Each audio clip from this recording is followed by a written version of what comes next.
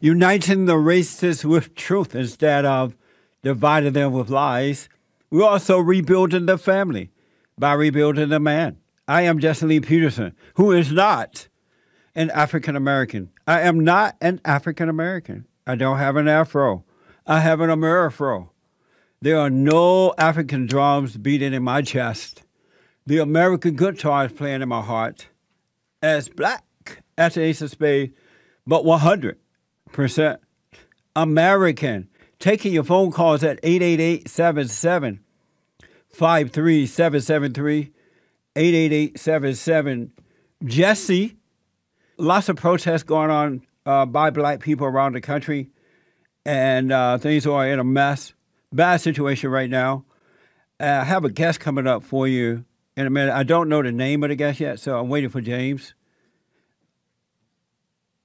You been smoking, James? Okay. Um, James, you been smoking?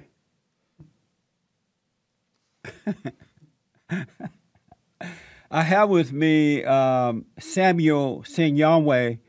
Uh, he is a policy analyst and data scientist who work with communities of color to fight systematic racism through cutting edge policies and strategy. And I wanted to talk to him, and he will take some calls from you as well, uh, about all this stuff going on. Uh, Samuel, good morning, uh, sir, and welcome to the show. Thank you so much for having me. Yeah, I appreciate you being here. Samuel, you are black American, right? Yes. Um, and I ask because you look like you could be mixed, either you know, with white and black or something else. That's why I ask. Uh, you grew up in Orlando, Florida. Uh, attended Stanford University in California, studying how race and racism impact the U.S. political system. I wanted to know how did you get into that? What made you decide to go that route? I mean, for me, it really wasn't a choice. So I grew up in Orlando, Florida, uh, and I attended, you know, for elementary school, I attended a predominantly white school, uh, white Southern Baptist school, and race was just in my face every single day. Um, dealing with some of the kids there, some of the adults, the teachers, uh, and so really, I have been seeking to understand these forces better. You know, I went off to college really to understand. The Sorry, I'm sorry. Are you on a speakerphone? Uh, no. Can you hear me now? Oh yeah, that's much better. Go ahead. Sure. So I was saying that you know from where I grew up uh, in Orlando, Florida, race really was unavoidable, and you know what I wanted to do was better understand how race and racism impacts people like me, and start to understand what are the solutions to really uh, overcome some of these challenges really that that we face in everyday life, uh, and that are really structural in our society. And so that has been the journey that I've been on and has taken me into advocacy and activism uh, in order to secure some of the policies we need uh, to protect and value uh, black folks around the country. So, growing up in a white school, give me an example, give me something that would make you concerned about racism as a kid. I mean, so there were countless incidents. Like you know, there were times where I had been uh, beaten up uh, and and called the N word, for example, uh, randomly. Uh, there were times when my teacher I felt was uh, singling me out as a troublemaker when other folks, other kids were doing the same things. Uh, and so those types of things on a daily basis sort of bring you to the realization that uh, you are not belonging in that environment. Uh, and you really start to ask questions as to why. Uh, what's the history behind this? And what are some of the solutions uh, to create a more inclusive America uh, for black folks to really thrive? Um, were you a troublemaker? I got into good trouble. So you were a troublemaker. So I would say that you know what I did was uh, constantly think about how do we create uh, new and interesting uh, ways of looking at issues, uh, and I think you know in in certain environments uh, there is a tendency to have particular social norms and say that there is a right way to do things and a wrong way to do things, uh, and that there is uh, no tolerance really for folks to deviate from what is considered the norm. Uh, and so that's sort of something that I've experienced not only growing up, but I think that is something that is endemic in a lot of parts of society. Uh, and I think we need to be pushing the envelope and thinking about new ways of including new types of voices, new perspectives, and new people into the dialogue. So then, when the teacher got on you about about being a troublemaker, it was not because of you being black; it's because you were a troublemaker, and it's never mind your color, because it is the job of the teacher to punish the kids who create trouble.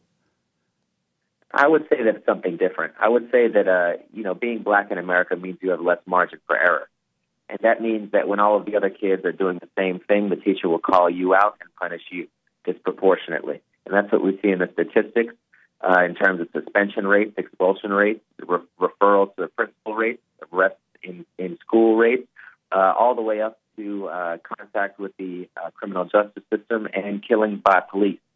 Uh, and so, you know, I would say that it is much more complex than that, and race certainly plays a role uh, in who ends up bearing the brunt uh, of that punishment. Is it abnormal for kids in school to get into fights while going through school? Uh, I'm not sure, really. I mean, I think you know there may be occasions. What I do know that that seemed abnormal to me. Uh, you know, I was. I'll give you an example. I was six years old uh, at a summer camp uh, and you know walked into the bathroom, and a kid, a white kid, beat me up uh, and called me the N word, uh, just like that. Uh, and that was something that I held on to for a very long time. And so things like that I don't think are normal, and they certainly aren't normal for white kids growing up. We're definitely normal for children of all races while going through school, boys and girls. Some worse than others, of course, but it's normal for kids to fight and and do things going through school. Uh, you went to a white school, so naturally, if there are more white kids there, you're going to have encounters like that with white kids. Had it been more black, dark skinned kids and light black kids, the light black kid and the black dark black kid would have been fighting in the same way. Boys and girls, especially boys, pick on each other while going through school. It's gonna. It was happening during my time, before my time, and it's going to continue to happen as long as human beings continue to have babies. I mean, obviously, kids will be kids, but what I think is different is that there are systems in place to protect uh, the behavior of some kids, and frankly, that are reinforced by some adults uh, in society. That's not the case for black kids in America. Um, White you know, kids are about, being picked on by blacks and Hispanics or Mexican kids, and and um, uh, uh, more so than whites are doing it to blacks or Mexican or Hispanic kids. Is it racism for the blacks and the Mexicans to pick on the white kids like that? And what I would say is that you know kids will pick on kids. What is different is that what you'll see in the data that is happening nationwide is that you know black kids are being suspended and expelled from school, are being referred to law enforcement, are being arrested, are being uh, entered into the criminal justice system uh, at higher rates for doing the same types of behaviors as white kids. And so there's a broader system here than just kids picking on kids. It is that there is a system that that values and protects uh, white kids more so than it does black kids and sends black kids down the school to prison pipeline. We so I think that that is more damaging than than sort of uh, you know playground antics. That is has really uh, meaningful effects, long term effects on the well being of our kids. I want to ask you about your organization, but I think you would agree with me, as most people do, that black kids are more violent than other kids, and they tend to pick on whites, Hispanics, and Asians I want to know a yes or no to the question. Is that racism when black kids are picking on or fighting with white kids in school? Is that racism? So, first of all, I haven't seen the data that you're referring to. And, and second of all, I think when we talk about racism, uh, we need to think about racism in a much broader way than just our interpersonal encounters. Racism is the broader system that values and protects certain behaviors, I- ideas, uh, and types of people over other people. Uh, so, for example, you are not going to have a situation uh, where you know, if a white kid picks on a black kid, that get that that kid would receive uh, time and time again the same level of punishment as a black kid picking on a white kid. So the system they operate in uh, is actually advantaging some kids over others, and that is much more damaging uh, than sort of the interpersonal things that that you're referring to because they have real consequences in terms of the legal system, in terms of academics, uh, in terms of your trajectory uh, as you try to uh, integrate into a sort of the broader uh, economy you uh, your your interpersonal encounters made you angry and motivated you, right? I think what I was able to do was figure out a way uh, to channel uh, that emotion into uh, activism uh, and thinking about new and creative ways to uh, tell the truth about the, the things that I was experiencing and, and that folks who looked like me experience every day. I read that you've done a project called Mapping Police Violence. Were you able to track how many cases in which uh, use of force was justified? Uh, so there is some. Hold that thought for me, Samuel. Samuel. Let me take a break. We'll come back, and I want you to respond to that. 888 7753 773. Back in a moment. I'm talking to Samuel Sinyangwe. He is with an organization called Campaign Zero. And Samuel, before the break, we got to get to your calls, folks, at 888 775 3773. I asked, you've done a project called Mapping Police Violence. And I wanted to know were you able to track how many cases in which use of force was justified? Yeah, so what you'll find is that the vast majority of uh, uses of deadly force have been ruled justified by uh, the local authorities that have conducted the investigation.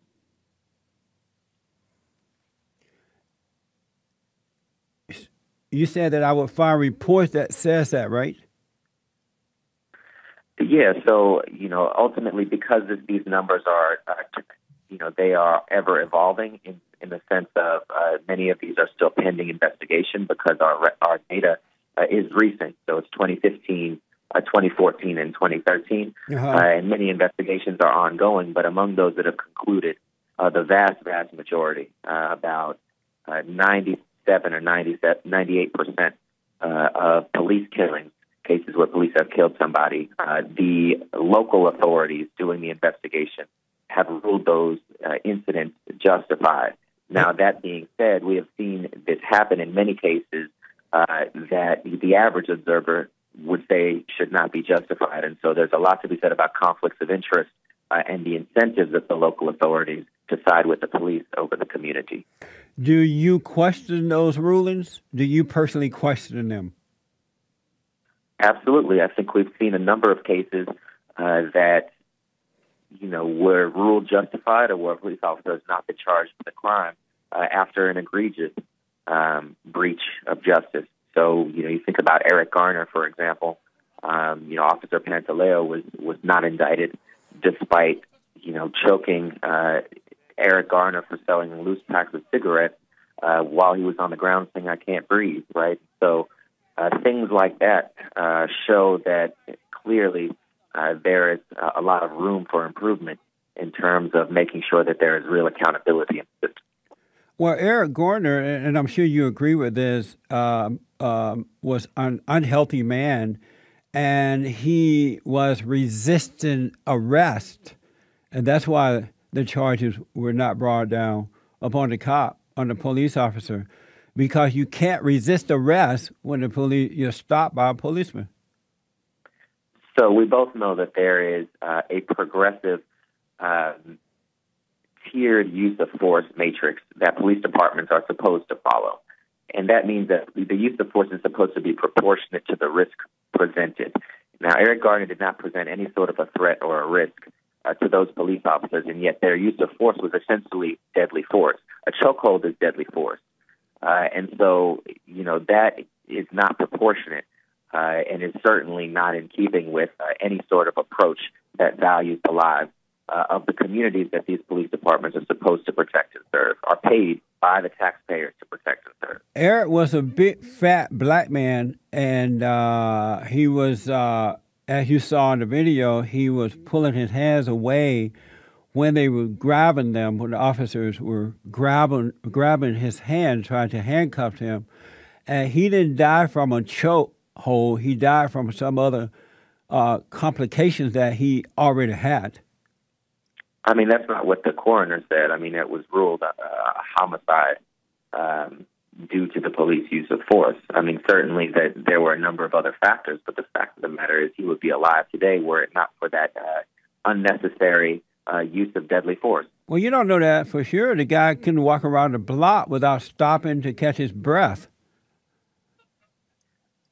I mean, so so that means, in, in your view, that the police should be able to use deadly force if you have your hands up uh, and immediately talking uh, uh, about an injustice, which in many ways uh, could be argued that the police should not play that role of arresting people uh, for having loose cigarettes. No, and, but so you should not, as a citizen, have the right uh, to in fact contest and say that that is not uh, appropriate while you do not present a threat to police officers and, and that you should be killed for that? Well, that first of all, first of first of all, the, the the report that you mentioned of the uh, coroner was not. It was. Uh, we don't know if that was really real or not.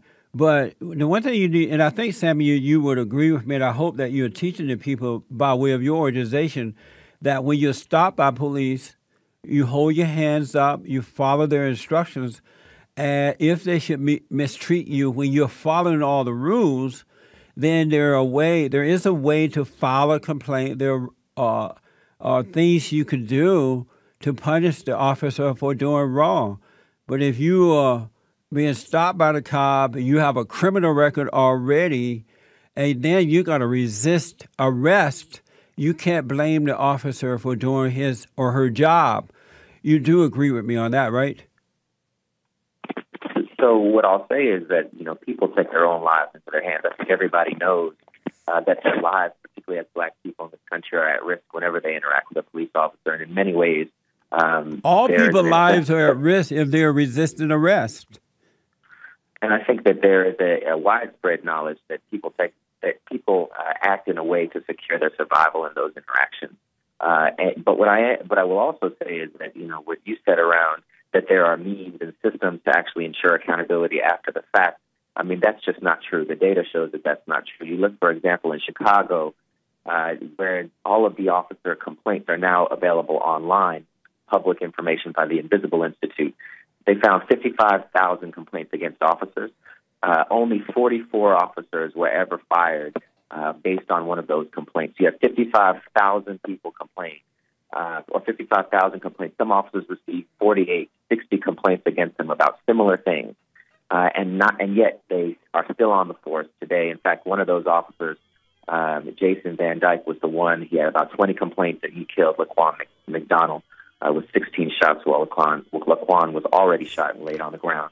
And so uh, you know, I think there there aren't systems that ensure accountability. Part of what Campaign Zero is about is, is putting in place those types of systems yeah, uh, so that there can be that belief that if, in fact, if you do uh, survive that interaction, that there is a means of ensuring justice and accountability for what happened. Well, uh, Sammy, you're black and I am black, and we we know how black people think and act, and it's not unusual for black people to complain and lie to try to get what they want, even if it's the wrong way to get it. And so, this report that you mentioned about them complaining, I mean, the average American roll their eyes when they hear black complaining. They've been complaining for 50 to 60 years, and uh, for whatever reason, they are refusing to take control of their lives. And I don't know why they think complaining and lying is going to make their lives better. So I'm sure you as I do, when you hear about these complaints from black people, you just roll your eyes, right? Uh, no, I don't, and I think it is. Uh, it's curious because I, I, do not hold the belief, uh, as as you said in, in over the course of this interview, that black folks are, are violent, uh, complain and lie about things that aren't true. I mean, I don't think that's true about our people. I think we are great people. I think we. What's great about you people? Challenges. What's great about you people? Give me something that's I great about we you. are resilient. We are resilient and brilliant. I Give me think, an you example of that, of you being resilient and brilliant. I think about all of the all of the black joy that we see. Folks who are, are dancing, are being happy, despite Dancing? encountering. Yeah, despite Anybody happy, can dance. White people despite- dance. No, but what I'll say is that it's different when you're experiencing Hold on, Samuel. poverty. Samuel, hold on. Okay, hold on. I'll let you explain. I want I want an example of black people being brilliant and resilient right after this break. Okay, folks, welcome back. I am Jesse Lee Peterson talking to Samuel Sinyangwe, and he is with an organization called Campaign Zero, a black activist activist for Campaign um, Zero. And we're going to get to your call just a minute here. Samuel, let me ask um, did you disagree with me that? Um, because I thought, first, I have one other question first. Your father and mother are black. Uh, no, sir. My dad is black and my mother is white. Oh, and so why you why are you going as black instead of mixed? I identify as black. Uh, I have identified as black since I've been a kid uh, because that is how I have experienced uh, life. That is how I've been identified as by society, by the systems in which uh, I have grown up. And I remember, you know, being in a second grade and receiving um, my first standardized test scores back, and they labeled my race as black. I had never asked myself what my race was before that, and ever since. I just assumed it was black, and society has confirmed that assumption. What is it on your birth certificate? Uh, I haven't seen my birth certificate, although uh, I wouldn't be surprised if it says black. I'm not sure. Do they actually label your race on the birth certificate? I know they used to. I'm not sure how they do it now. Um, interesting question. did you get into Stanford on affirmative action? I mean, I had a near perfect SAT score. I had a uh, 1570 out of 1600, uh, and I had stellar extracurriculars. Uh, was involved in, uh, you know, had straight A's in in an IB program at uh, one of the best schools in in my area. So uh, I think I was just as qualified, if not more so, than the other folks who got in. So did you get in on affirmative action? Uh, I don't think so. I mean, I know that there were kids who got in on affirmative action, and that is the affirmative action of legacy uh, admission. Uh, and I got in despite that disadvantage. Um, it's unfortunate that it sounds like you earn your way, but because of affirmative action based on color, I and many other people would think you're there simply because you're black and not because you earn your way. Do you agree with me they need to get rid of affirmative action based on color? Absolutely not. I mean, affirmative action merely states that if you have two candidates that are equally qualified and one is black and the other is white, uh, that you should actually uh, ha- have a preference for that black applicant in order to uh, taking into account that in this society, uh, that black child more likely than not experience uh, greater hardship in in demonstrating the same level of aptitude on those existing standardized tests. It also should be said that affirmative action, actually the greatest beneficiaries of affirmative action, when you look at the data, are white women um, historically. That was And a so- uh, Indian guy I had on the show who pretended to be black, and he got into a university because he knew had he been anything other than black, they would have discriminated against him and let a black person in based on color and not qualification. I mean, I wouldn't say that. I would say that it, at I'm saying that's like why he Stanford and did it. schools, He's- that's why he Indian, did it. Indian students and, and Asian students are grossly overrepresented in, in these institutions as well. So I don't think that there is a problem of representation uh, on campuses uh, on the part of Indian Americans. Although I could be wrong, and I'm, I'm happy to to get more information on Yeah, that. Yeah, talk to But Mindy Kaling's brother, and he'll tell you. I want to go quickly back to something because there are a lot of folks who want to talk to you.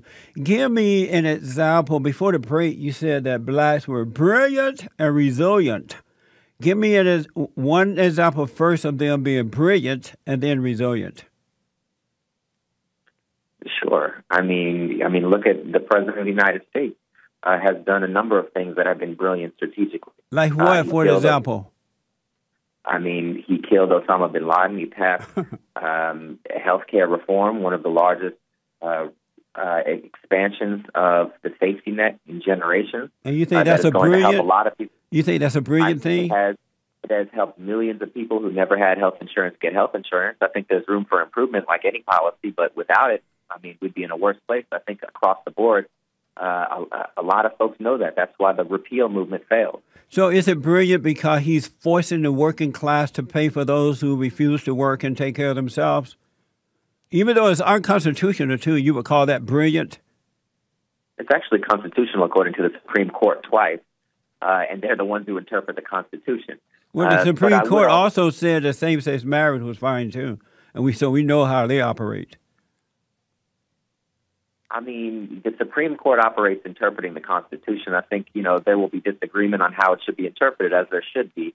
Uh, but ultimately, um, you know, that is what the decision that has been made. Uh, I would also say that, you know, you said, you know, brilliant. Um, it has been it has been brilliant to see uh, young people across the country uh, become politically engaged, uh, politically mobilized. But We look at for them; they are rowdy, angry, dangerous, dangerous, brainwashed black people who are out of control. They're morally bankrupt. We don't want those type of people routing. I mean, I think we need to have more people civically engaged. What we've Or seen is peaceful protests happening across the country, as happened in the civil rights movement. But you don't want the thugs. They're a bad example of the civil rights. The people in the civil rights movement, for the most part, were not thugs. Black Lives Matter and the Black Student Union and the uh, Communist Party members and others are thuggish people, and they're riding, routing, riding and destroying property. And uh, unlike the Tea Party, remember when the Tea Party movement was there? They were polite, good people. I mean, what I saw with the Tea Party movement was a number of racist slogans that were uh, advanced people saying that Obama was uh, a number of racial slurs.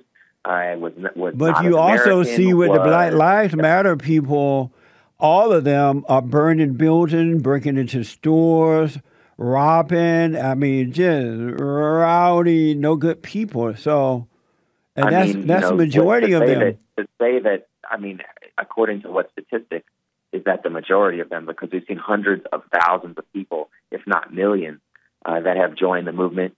Uh, and how many stores have you seen burned exactly? Uh, have you seen Baltimore lately or Missouri, How, Ferguson? how many? If you could give me a, a count nationwide, how many do you? Uh, One is too many, my friend.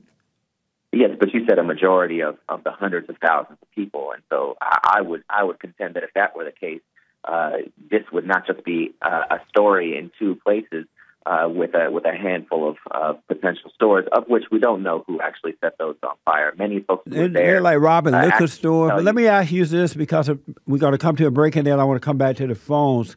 Your website, Campaign Zero, has a man with his hands up uh, in a hand, hands up, don't shoot gesture. Uh, when I come back, I want to ask you about that, and I want you to give out your website for the folks, and we'll take some calls right after this break. Samuel. Hey, Samuel. Hello, how are you? Good, buddy. I want to know your website, Campaign Zero, has a man with his hands up and a hands up, don't shoot gesture.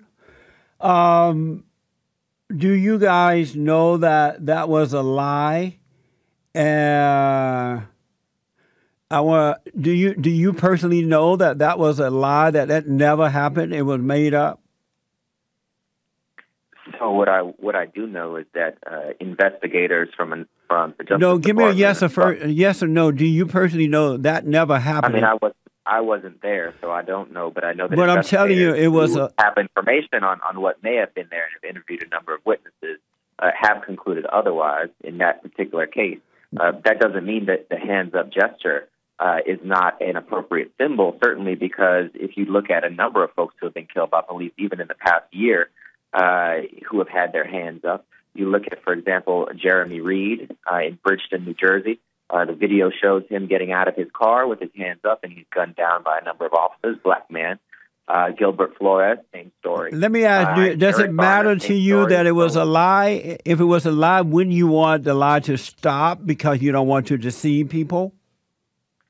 I think it should stop when uh, black men stop getting killed by the police with their hands up, and that hasn't stopped yet. Let me ask, why do you, you black and white, your mother white, father black, why do you not accept your whiteness and promote that? Uh, I wouldn't say I don't accept my whiteness, other than the fact that I understand as a uh, person of uh, mixed heritage in the United States that uh, I am labeled and considered black, and I and I am in solidarity with and and fight against the same forces of racial inequality uh, that all black folks face in this country. So, do you do you like live the half white life, which means half is good and half is bad? The black part is bad. No, I don't think that there's anything bad about blackness or good about whiteness. Uh, I think it is an experience that, uh, in terms of being biracial, that you have access to folks who are white in a, in a different kind of a way, uh, and you understand sort of some of the ideologies and the, and the history uh, around those opinions. Um, well, let me just say this: understand how that side of the country, uh, according to the department, a department, according to the Department of Justice, there was no evidence that the hands up, don't shoot thing ever happened. It was all made up. I do want to ask this, and I'm going to the phones. Um, you agree with me that you agree with me a person is innocent unless proven guilty, right? Yes, I do. And have um, um, and you believe in justice, right? Absolutely. So, have you guys gone back to repair the reputation and restore the livelihood of George Zimmerman and Darren, Officer Darren Wilson, who acted in self defense? Have you gone back to help those guys restore their lives? I don't think that they uh, acted in. First of all, I don't think they acted in self defense. No, give me the yes uh, or no first. Have you gone back to help those no, guys? I have not. Why not? not. Why not? Because number one, uh, I haven't seen uh, strong evidence to suggest that they acted in in self defense. That they acted without bias. That that, in, that that those situations would have occurred in the same way had that been a white child instead of a black child. Does it matter that, that George Zimmerman had a trial? Well, when you think about how the system works in the sense of who was on that uh, jury, what the composition of the jury was. So you have all uh, kind of excuses to justify your bad behavior. I mean, what did Trayvon Martin do that was bad behavior? He was walking home. no, I said you have Samuel have Samuel. You have all types of excuses to justify hating white people and cops. I don't hate white people or cops. Yes, you do. What I disagree with is uh, the violence and the impunity with which uh, though, that white folks who are vigilantes as well as police officers uh, have been able to get away with in this country that is manifestly unjust and that is unsafe. and you have people. no evidence uh, of that. Let me ask: Are you a good I man? I do have evidence. So can we get into the evidence? Are you a good man? Let me ask: Are you a good man? I think people who know me would say yes. What do you uh, say? You, you mentioned what do you say? Are you a yes. good man? I would say yes. You believe uh, in God? I, you believe in God? I believe in a higher power, absolutely. How about God? Do you believe in God? Uh, I believe that, you know, God is, oftentimes when you say you believe in God, it can be interpreted a number of ways. And so can uh, a higher power, too. Uh, you can interpret Sorry, what, you mean about higher power. Higher power. I want to know: Do you believe in God? Because that are bigger, I've noticed that when people say they believe in a higher power, they don't believe in anything. They're lying. So I want to know: Do you I believe mean, in God? If you're meaning the uh, the Christian interpretation of a God based in a, a literal interpretation of the Bible, I would say no. Let's go to speaking of Bible. Bible go to God out of Los Angeles. Bible go to God. You're on with Samuel. Uh, you've already vetted him for me, Jesse. Thank you. Um, that was that was key right there because it is the godless, unlike it is the godless that are that are doing all this whining, complaining, and uh, you know, creating themselves into being victims. Um, sir, did you know that um, blacks kill blacks at five times the rate of anybody else? I'm familiar with the FBI statistics on violent crime. Absolutely. Is that a yes? Did you know that's true? Is that a yes? Uh, yes, according to the data that has been collected, I, I'm aware what that that is. the heck uh, is wrong that with black people? Do, that do you slaughtering? accept that data, uh, Samuel? Uh, yeah, I think that those are uh, probably uh, there. There may be a there probably is a disproportion in terms of. Okay, so uh, he has a violent crime follow in- up question. in, in the sense of how it's been defined. Go Yeah. ahead, Bobby. Go Uh. So what is wrong with black people that they've been turned into killing each other at such a high rate, more so than So any I- other race? Exactly. So I think number one, it's important to note that uh, even on the over the course of this interview, uh, black there has been a tendency to He label said- black people. No, as, he said, as what's violent. wrong with black people that they're doing it? Why are they doing it? Uh, I think that is a, a consequence of poverty uh, Oh, and historical. Jesus. Hold on, Samuel. I'm sorry I had to hang up. I mean, put you on hold. Hold on, Samuel. Thank you, Bobby. Go to God. Grant, you're up next, right after this break. Okay, folks. Uh, final segment with Samuel uh, Sinyangwe with um, Campaign Zero. Samuel, you have a website you would like to give out? Absolutely. It's uh, joincampaignzero.org. It offers a range of solutions uh, to end police violence in this country. Well, I want to have you back. So many things I want, other things I like to ask, and I know there's some things you would like to say. Will you come back? Sure. Uh, Samuel, in, in three or four words, tell me what's good about you. What do you think is good about you? Uh, so I think I have a uh, analytical mind. I understand uh, data and how to make it presentable and accessible to people so they can understand the broader trends uh, of what's going on in society. And you think it's good to have an analytical mind? Absolutely. Uh, you think that you think that that make you a good man because you have an analytical mind?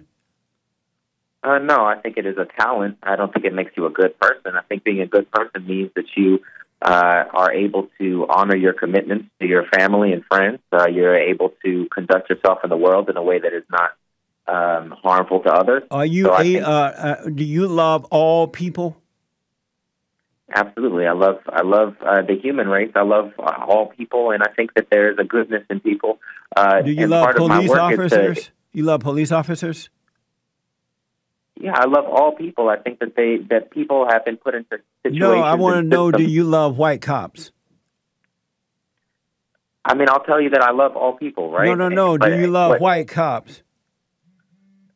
I I love them enough to, to want them to strive. Uh, No, give me a be in a yes or no, a simple yes or no. Do you love white cops? sure. Okay, let's go to Greg, Wilmington, Delaware. Go ahead, Greg. We were almost out of time, and I apologize. Yeah, real quick. Hey, Jesse. Hey, Hey. Samuel. Samuel, if you have an analytical mind, you've got to be one of the most dishonest people with a good mind I've ever ran into. Because if you think the Tea Party people are not nice, you have never been to a Tea Party event. And if you look at what's happening there and the, the peace and calm from which they present themselves, and then what the place looks like after they leave, compared to a Black Lives uh, Matters protest, you're either completely mad or do not have a analytical mind. Samuel? So what I'll say is that the response to the Tea Party rallies uh, by the police and the authorities is very different than the response to the Black Lives Matter rallies. Because the Black Lives Matter people are so rowdy and angry. Well, that is the assumption, but actually, it is the police that, in many ways, escalated. You look at I- Baltimore yesterday. You know what, Samuel? I'm so sorry, but I got to run. Samuel, I have you back. I'm sorry to cut you off. I have you back, okay?